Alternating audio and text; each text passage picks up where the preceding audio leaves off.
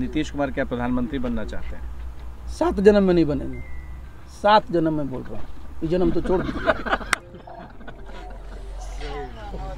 आपने सुना रामचंद्र राव को बेहद दुख